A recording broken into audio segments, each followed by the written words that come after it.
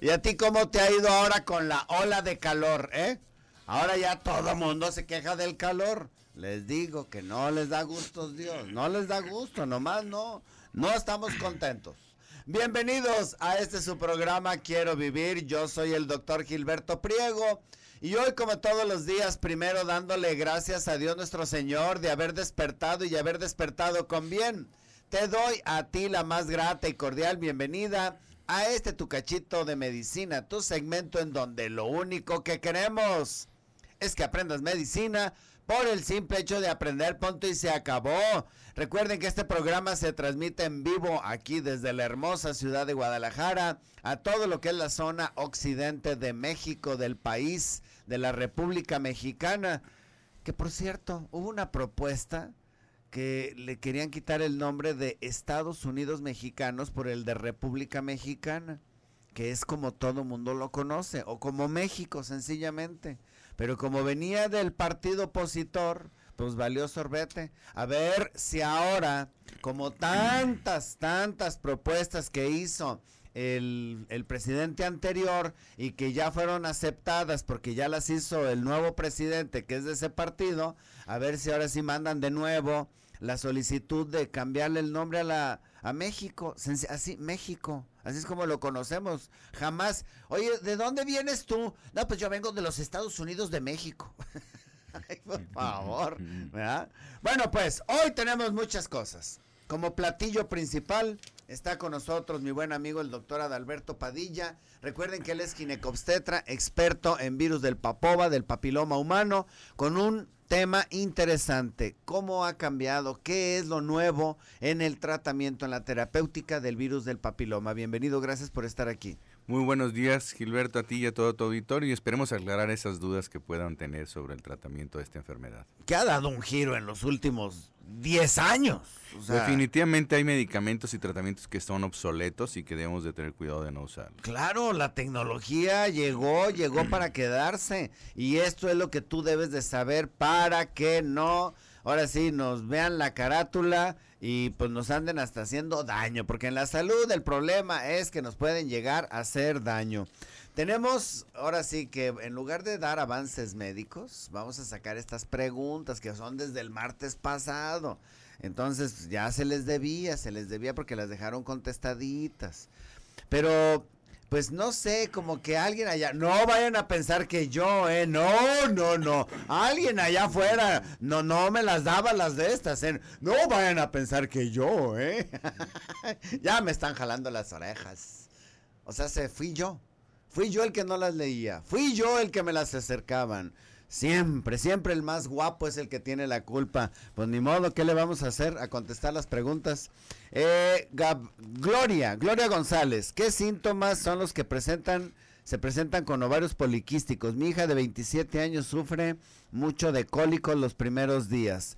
Le contestaron el doctor Dagoberto, obesidad, vello, ausencia menstrual de dos, tres meses, crecimiento ovárico. Y bueno, esto es lo que contesta nuestro experto. Esperanza de 66 años. ¿Cuál es el estudio para detectar poliposis uterina? ¿Qué son los pólipos? Bueno, los pólipos son como pequeñas ubitas de tejido generalmente generalmente benigno, a través de un ultrasonido de preferencia vaginal o una histero, histerosonografía. Se, se realiza en hospital. Gema Ramos, 18 de, la colonia 18 de marzo, 30 años. Tengo 26 semanas de embarazo. Tengo estreñimiento. ¿Qué puedo tomar? Verduras y abundantes líquidos. Caminar dos veces al día 20 minutos. Y recomienda metamucil, dos cucharadas cada 12 horas en medio vaso de agua. El metamucil es psyllium plántago. María, ¿cuáles son las razones por las cuales no baja la menstruación?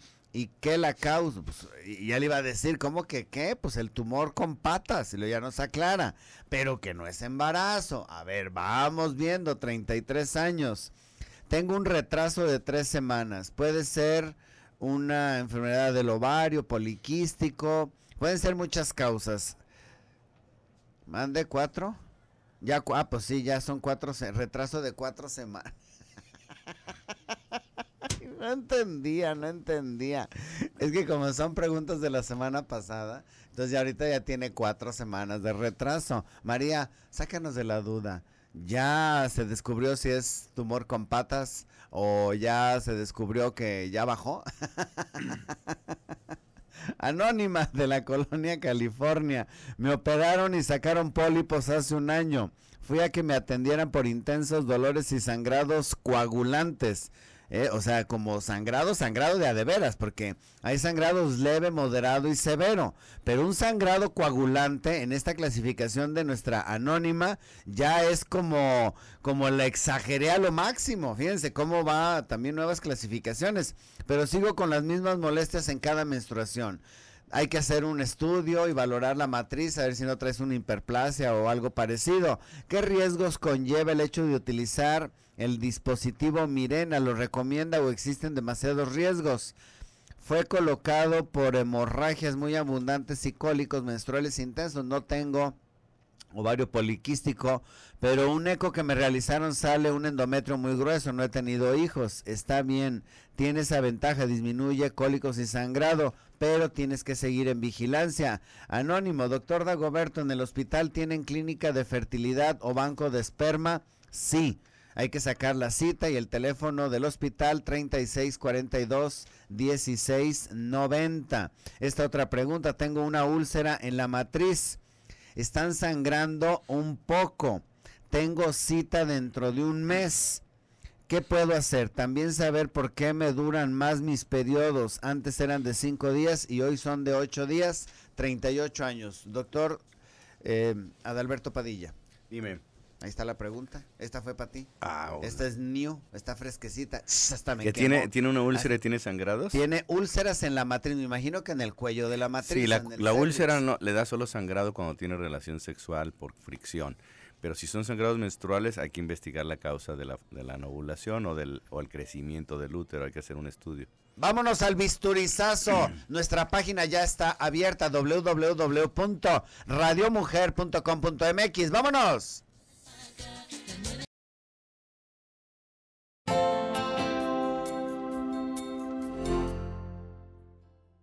Ya estamos aquí de regreso en este su programa Quiero Vivir.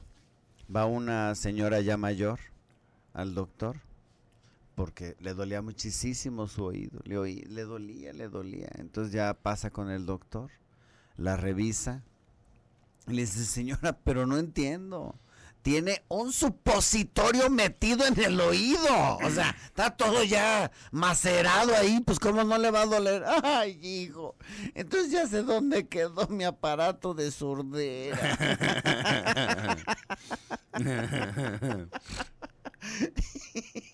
Muy bueno. Bueno, bueno, bueno, bueno, a lo que vamos, vamos. Entonces, hoy vamos a hablar de lo que es el tratamiento del virus del papiloma. Y lo primero es que a mí en lo particular me da muchísimo gusto de que los adelantos médicos científicos de esta medicina de esta medicina científica, porque la otra medicina como que no es tan científica, pero que también tiene su validez. O sea, todas las disciplinas médicas tienen su validez, pero no traten de curar cosas en donde ya está totalmente desconchinflado todo con hierbas, por así decirlo, por así decirlo, tienes un cáncer, no, pues tómate la hierba o ponte el lodo sagrado de los aztecas, no, por favor, váyanse a la medicina, a la medicina científica, si le quieren decir occidental o la medicina, como ustedes le quieran decir, pero la alópata, como le quieran poner, pero básense en esa medicina y después, como un complemento, pues sí, armoniza tu cuerpo y los chakras y los mantras y los, quién sabe cuántas cosas y las acupunturas y todo para que te regularicen. Yo no lo niego, te sirven. Pero no dejes la medicina porque tu oportunidad se te va. Bueno, en este concepto, a mí en lo particular es uno de los grandes logros de los, de los mejores, es, es así como de los mejores, el hecho de que descubras que un virus es capaz de provocar un cáncer que todavía hoy mata a, a, muchísimas mujeres. Se pelea el lugar en México, se pelea el lugar con el cáncer de mama, nada más para que se den una idea, que es el cáncer del cervix, del cáncer del cuello de la matriz. Entonces, toda la ahora sí, toda la terapéutica que nos va a hablar ahorita el doctor Adalberto radica en que se vio la peligrosidad del virus. Es decir, se encontró la relación causa-efecto. Yo tengo una infección por virus del papova de grupos determinados y me va a producir más tarde o más temprano un cáncer si es que no hago algo para poderlo controlar. Así es, Gilberto. Miren, aquí el detalle sobre esta enfermedad es que hay dos grupos, tres grupos de virus. Uno, que es visible, que son las verrugas en forma de coliflor, crestas de gallo, cualquiera puede observarlas cuando tienen cierto crecimiento y son las que detecta el dermatólogo, el urólogo cuando va el, hombre a revisarse. Este virus, generalmente el más frecuente tipo es el 6 o el 11. Este no da cáncer, pero es el que se considera una enfermedad de transmisión sexual que afecta a la persona por la presencia de estas lesiones en cuanto a su relación con otras, otras parejas. Y además de que, bueno, llega a, bajar las defensas del, del, individuo que tiene el problema y se extiende.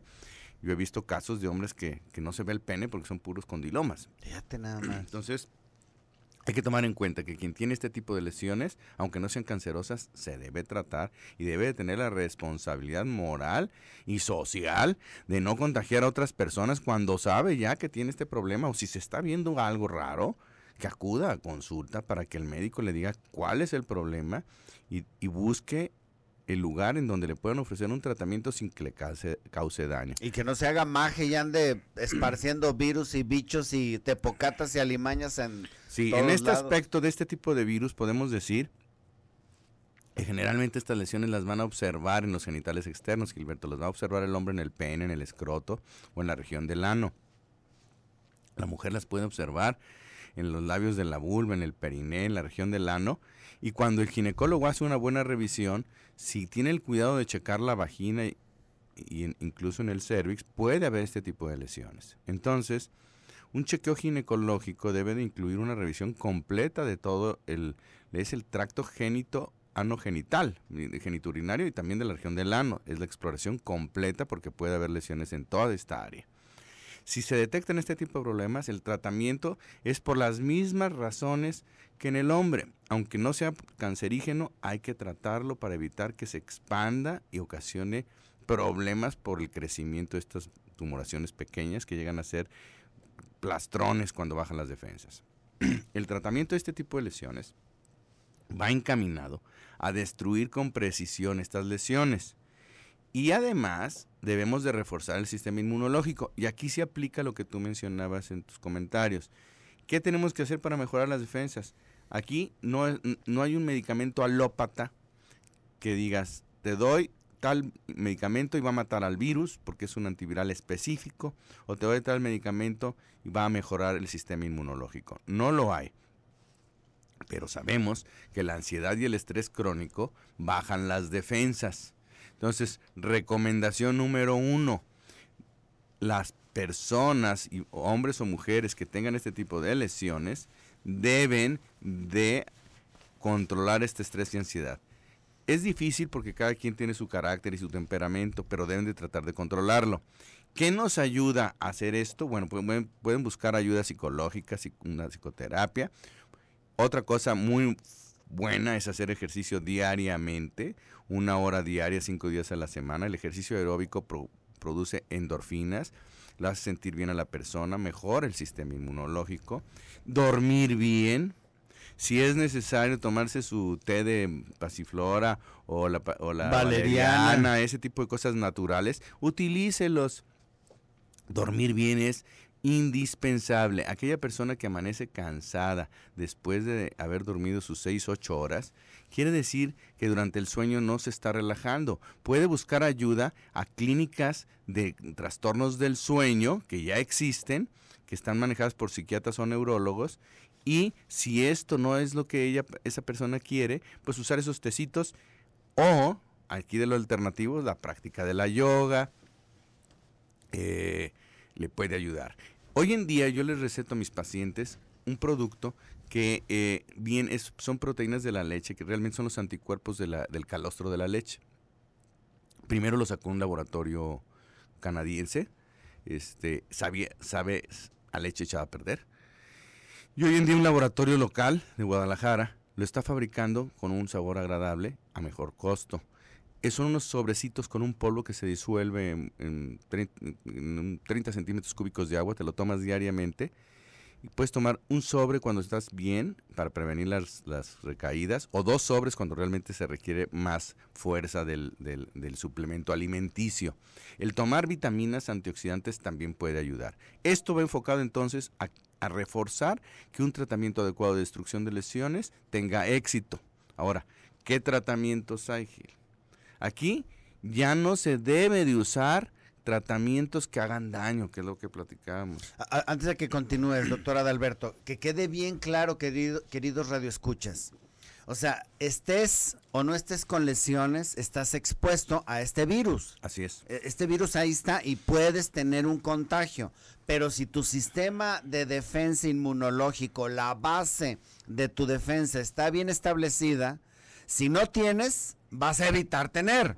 Y si ya la tienes, va a ser el complemento del tratamiento del que nos va a hablar ahorita el doctor Adalberto. Así es. correcto esto, eso? Esto que acabamos de platicar sobre cómo mejorar las defensas es la base para tener un éxito en los tratamientos de destrucción de lesiones, tanto de los condilomas acuminados como de las lesiones planas no visibles que solo el ginecólogo a través de un colposcopio, que es un microscopio y la aplicación del ácido acético, durante una revisión puede encontrar este tipo de lesiones. Estas lesiones planas están asociados a los virus que tienen poder oncogénico, capacidad de desarrollar cáncer, y también a otros virus de, riesgo intermedio. Y aquí el tratar o no tratar depende también del sistema inmunológico del paciente y de la edad.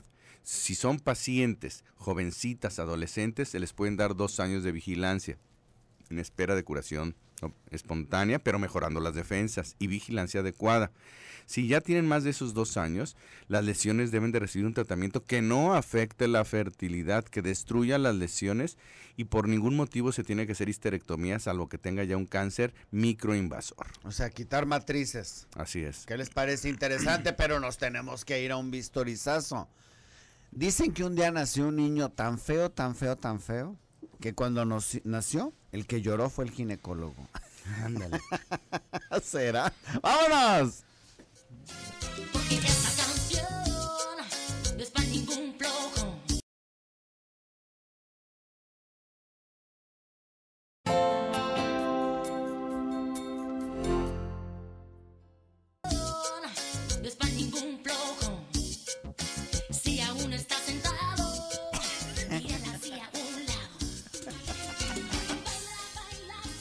Disfruta los regalos que Dios te da. Y uno de estos regalos es el café. Así de que... Huélelo. Mm. Mm, mm, mm, mm, mm. Ah, saboréalo, disfrútalo, gózalo, porque es un regalo de Dios para todos nosotros los mortales. Si tú no eres mortal, entonces a lo mejor te puede llegar a caer mal. Mm. Ya estamos aquí de regreso en este su programa Quiero Vivir. Dicen que ese niño cuando nació está tan feo. Bueno, después de que el doctor lloró, que pues ahora sí que la mamá no sabía si quedarse con la placenta o quedarse con el niño. man. Ándale. Pobre. No, no es cierto, nada de eso. La belleza es interior. Recuerden ustedes siempre eso. La belleza es interior y la actitud que tú tengas ante la vida es ahora sí como esa seguridad con la que caminas lo que te hace pues atractivo o atractiva para todos los demás. Vamos a continuar con este tema tan interesante que es el tratamiento del virus del papiloma. Aquí vale la pena aclarar y siempre el doctor Adalberto nos hace mucho hincapié en el uso de protectores, de protectores. ¿Por qué? Porque tú no sabes, sobre todo cuando se van a ligar a un bar o algo, no sabes ni quién es la otra persona, ni qué bichos y tepocatas tenga. Y bueno, pues ahora sí que la protección es básica. El uso del preservativo ayuda bastante. Tiene una, una capacidad de prevenir la infección de un 70-80%. No da el 100% porque hay, hay secreciones que, que escurren en la relación sexual y que no las puede proteger el, preservativo. Pero bueno, hablando ya de, de cuando tienen la lesión y se las descubren, que quede claro que todo tratamiento destruye lesiones, no mata el virus. Al destruir las lesiones tiene que hacerse de tal forma que ese tratamiento no dé consecuencias negativas. Y además se debe de reforzar el sistema inmunológico. Una vez que se comprueba que las lesiones fueron destruidas, estas tienen posibilidad de regresar en el transcurso de los siguientes 10 años de acuerdo a estudios ingleses. En Estados Unidos se habla de 4 años. En Inglaterra que tienen medicina, pues una medicina social muy buena, un servicio médico dado por el Estado de muy buena calidad, no como en otros países en que tardan meses en que los operen, sino que allá es una excelente atención. no te refieres a, a México, pues ya ves que hay algunos países que sí se tardan mucho en atender a sus enfermos. Ay, que son tres meses, hombre. Acá en Inglaterra... tengo apendicitis, ahí venga el mes que entra, hombre, no se preocupe. Y en Inglaterra es, junto con Francia, en Europa tiene un servicio excelente. Ni siquiera en Estados Unidos tienen el servicio, porque en Estados Unidos hay muy buena medicina, pero es muy costosa. Y en, en lo que es Inglaterra, Francia y Canadá, pues tiene un sistema de atención médica de parte del, del- gobierno de excelente calidad. Entonces, su- sus costos no son tan altos como los americanos y por eso ellos siguen utilizando la colposcopía como un método de seguimiento. Esto es importante lo de los costos, porque en Estados Unidos los procedimientos como la colposcopía y la toma de biopsias son muy costosas y estamos hablando de 500 dólares. Entonces, los seguimientos los dan a través del Papa Nicolau con la captura de híbridos de, de virus del papiloma humano. Pero en nuestro país yo no creo que sea, eh, o sea, no son eso el caso, los costos no son esos. Y en Europa, pues tampoco, y por eso se sigue dando seguimiento a pacientes ya tratadas para saber si hay recaída o no. Y en lo personal yo les digo, cuatro años es lo mínimo, pero hay, no puedes asegurarle a nadie que jamás va a tener hasta que pasan los 10 años para poderle decir que ya está curada. Siempre debemos decir, después de un tratamiento con éxito, aparentemente sana o en fase de latencia. ¿Por qué? Porque pueden haber quedado pequeñas partículas de virus inactivas en espera de baja de defensas para reproducirse. Por eso tan importante mejorar el sistema inmunológico. como base de este tratamiento. Así Ahora, dentro de todo el esquema, yo recuerdo que, a ver, tú dime si es verdad o es mentira, que este tipo de verrugas lo- las quemaban con el electrocauterio y que los doctores empezaron a tener virus del papiloma en la laringe, en, en las cuerdas bucales y demás. O sea, se dieron cuenta de que el virus no se mataba, sino nada más se vaporizaba y llegaba a donde el doctor estaba respirando. Sí, mira, el, el problema de- del tratamiento de las lesiones es que la destrucción, si la haces con el equipo de electrocauterio o con el láser, genera, se vaporizan y esas células llegan al, al ambiente y se requiere de un filtro, un aspirador de aire que esté cerca de donde está saliendo el humo para que chupe este humo y que cuente con un filtro biológico que lo depure y lo detenga este virus, porque si lo hacen al estilo rudimentario como antes, tanto el paciente como el doctor se van a enfermar ahora de lesiones en la garganta, en las cuerdas bu- laringe, en la laringe, pues en las cuerdas bucales. Entonces, eso ya se dieron cuenta, es de alto riesgo el contagio así. Entonces, si va a hacerse un tratamiento, debe hacerse con todos los recursos tecnológicos. Ahora, el electrocauterio que tú acabas de mencionar, lo siguen usando para destruir una o dos lesiones por condiloma acuminado. Pero cuando están en la piel, dígase pubis o dígase una región de las manos o en regiones no tan sensibles. Porque si eso lo usan en el pene, en el cuerpo del pene, en el glande, le dan disparos con el electrocauterio, le van a hacer un hoyo. El, chispazo eléctrico produce de 2 milímetros de profundidad. En la piel de la vulva y del pene tiene menos de un milímetro, Gilberto. Entonces, si le dan un disparo con el aparato antiguo, le van a llegar a la dermis y van a destruir las terminaciones nerviosas y van a tener un problema de sensibilidad en la zona tratada. Entonces, yo no les aconsejo que se utilice esto para este tipo de regiones. Posiblemente el dermatólogo lo siga usando en, la- en otras partes del cuerpo, porque ahí, pues bueno, quedó sensible una parte de la mano, una parte del pubis. No hay bronca, no hay un roce constante, como es en los genitales cuando hay relaciones sexuales. Y en cambio, si hacen la destrucción con precisión, una gente con experiencia para que el láser vaya destruyendo en micras sin llegar al, milímetro, la tasa de éxito es muy buena, no ocasiona daños y el paciente, reforzando su sistema inmunológico, tiene muy buenas tasas de éxito. Ese sería el tratamiento ideal.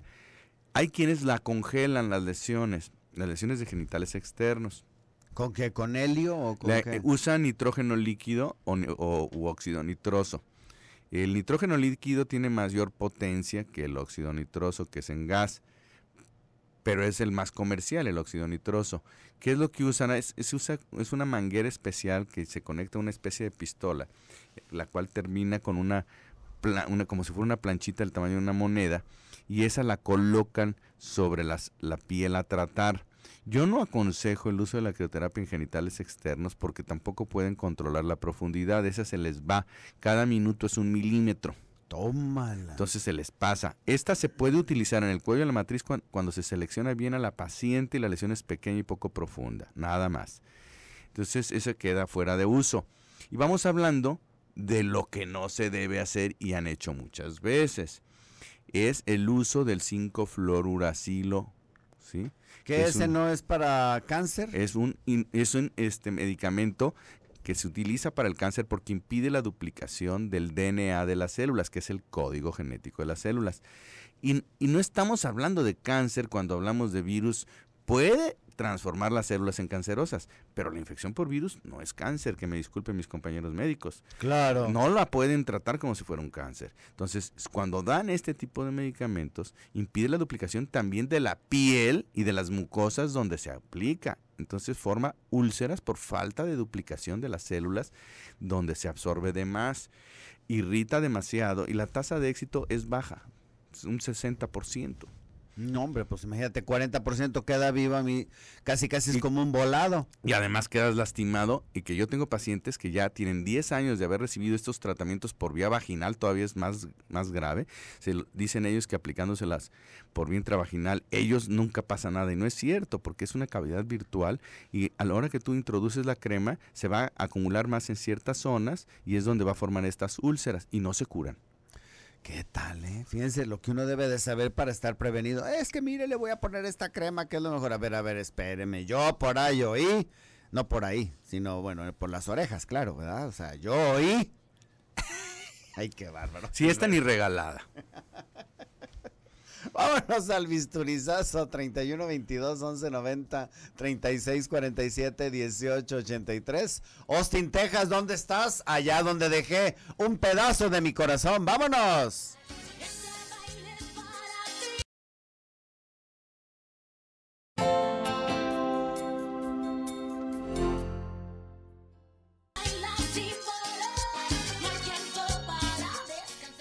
Estamos aquí de regreso en la recta final de este programa. A través del chat, nuestra amiga Liz te hace la siguiente pregunta. Doctor Adalberto, si tienes el papiloma humano, ¿esto puede ser generador o propicia otras enfermedades como sífilis o viceversa? No, lo que, lo que sí tienes riesgo cuando ya tienes una enfermedad de transmisión sexual es que te hayan contagiado otra. ¿Qué significa? Que quien tiene SIDA es una persona de alto riesgo para enfermedad de transmisión sexual y puede tener papiloma, puede tener, haberse contagiado de herpes, de SIDA, aunque no sean la misma enfermedad. Entonces, que quede claro que son dos enfermedades, pero yo creo que una te debilita sobre la otra, pero nada tienen que ver una con la otra. Sí, no, lo que pasa es que quien trae una posiblemente tenga otras. Ese es el- Claro. entonces, sí es importante que si ya te contagiaste de una enfermedad de transmisión sexual, te cheques de todas. Sí, no sé, porque esto se va a parecer como el señor que se quería meter con la señora del servicio. Y entonces la mujer se va de viaje a ver a los papás y entonces él baja en la noche y... María, ábreme. No esté dando lata. Lárguese a su cama. Ándale, María. Quiero pasar la noche contigo. No, no, no, no esté fregando. Lárguese, júchale, váyase a su cama. Ándale, váyase, váyase. Ándale, esta insiste insiste. Bueno, ¿se ha hecho usted chequeos? Sí, mándemelo si yo ahorita le digo si lo dejo pasar o no. Pues total, ¿se acuerda del check-up de la empresa de tres meses atrás? Se lo pasa por debajo de la puerta. La María lo ve y lo deja pasar. Y no, hombre, este desenfrenado hace el amor con ella y ya cuando termina dice, oye María, pues para estar en estas lides estás muy enterada de eso de pedir un chequeo médico antes de meterte con alguien. ¿Por qué? No, dices que una vez me pegaron el SIDA, dos no. Imagínate nomás. ya se fregó el tipo. No, y esto es muy importante, eso que acabas de decir. Esto, fíjense, finalmente, si te, si yo sigo insistiendo, la prevención con personas que no conoces, si trae un bicho, seguro trae otro y trae otro. Entonces, aguas.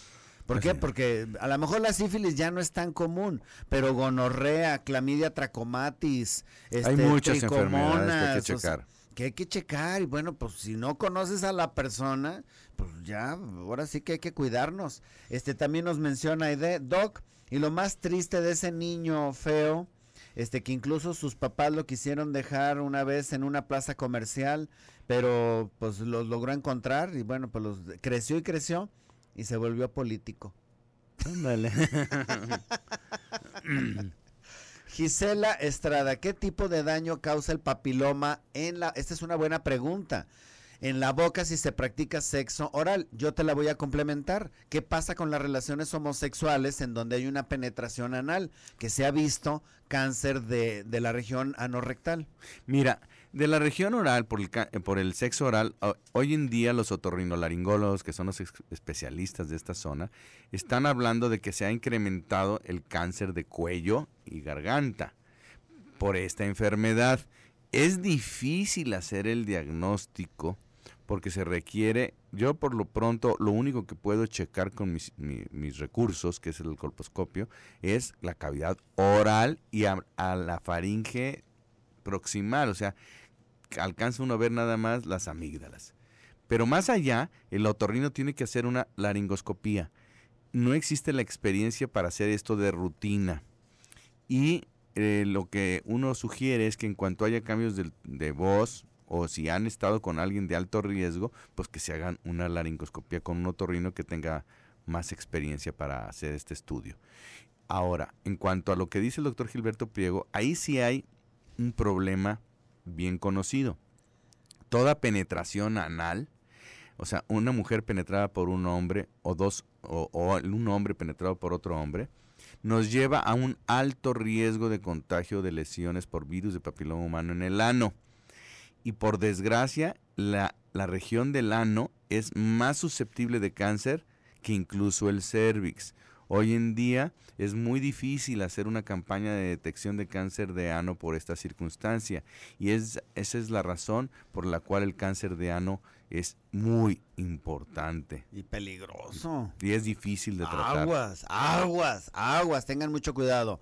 Eh, también pregunta, tengo síndrome de intestino irritable, ¿puedo tomar café y melatonina? Claro, no pasa nada, absoluta. Recuerden que el café y el chile, naturales, naturales, son antioxidantes.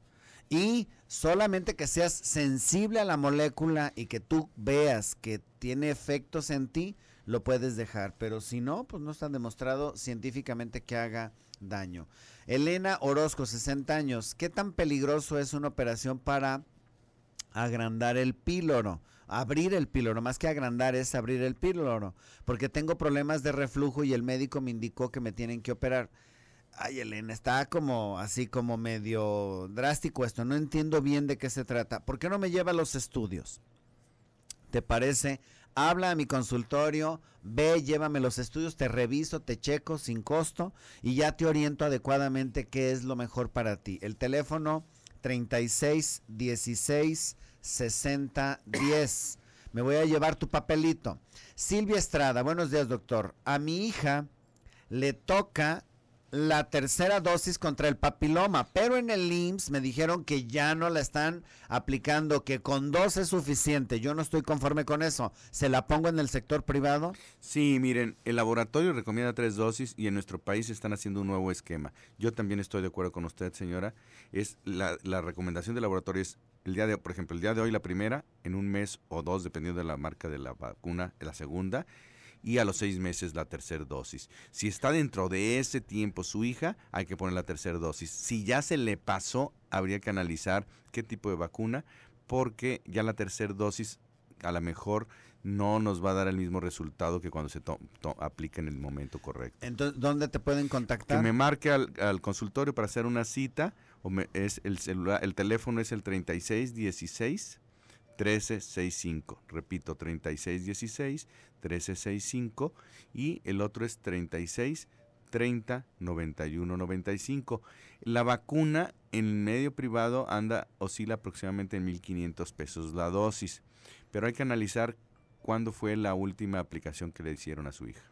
Te doy el papelito del Sí. nombre para que te acuerdes cuando hable. Y si alguien más quiere hablar, bueno, pues es de lo mejor nuestro experto en virus del papiloma. La melatonina causa adicción, Josefina Brambila. Pues no, porque la melatonina finalmente es un inductor del sueño natural de acuerdo a nuestro ciclo circadiano. Eh, Susana, doctor, tengo una bolita en el cuero cabelludo, ¿con quién me recomienda ir a consulta?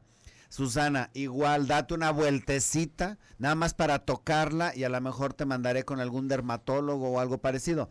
Ve y le dices a Lorita, nada más que me toque la bolita para ver si no es un ganglio, porque a veces son ganglios, o si verdaderamente es alguna bolita de grasa, algún fibroma o algo y poderte canalizar adecuadamente. Anónima, el último mes he tenido dolor en la parte alta del abdomen, me hicieron una endoscopia y dijeron que todo se miraba bien. Esta última semana he tenido dolor torácico y en la espalda. El doctor me recomienda, me incomoda. El dolor me incomoda hasta para caminar. ¿A qué se deberá? ¿Qué especialista me recomienda?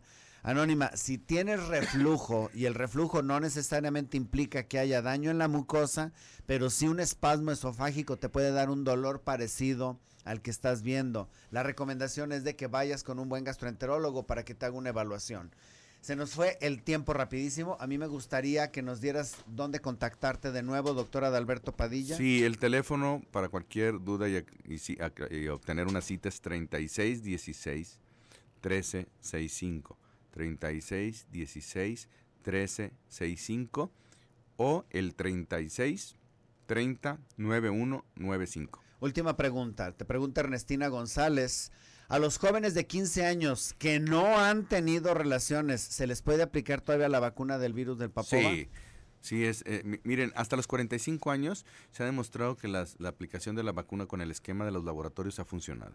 Para que no tengan ningún problema en prevenir esta enfermedad. El tiempo se nos fue rapidísimo. Amigo, muchas gracias. Gracias a ti y yo pienso que hay que continuar nada más para terminar de aclarar los otros tratamientos y los, los que sí se deben y los que no se deben. de Espero que nos quieras acompañar aquí. Claro que sí, muchas gracias. El tiempo se nos fue rapidísimo. Ahí estuvo el buen Toño en los controles, Jesse en el teléfono, César en cámaras, Rosy en la producción y un servidor Gilberto aquí en la conducción. Recuerda, si tu médico te prohíbe el café o el chile, no le hagas tanto caso que no hay evidencia científica de que haga daño.